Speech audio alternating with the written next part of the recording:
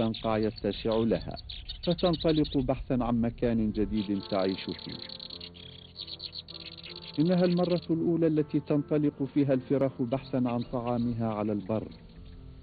على اليابسة يتوفر الكثير من العشب النظيف اللذيذ. إنها تستمتع بوليمتها من العشب الطازج الذي تأكله للمرة الأولى في حياتها.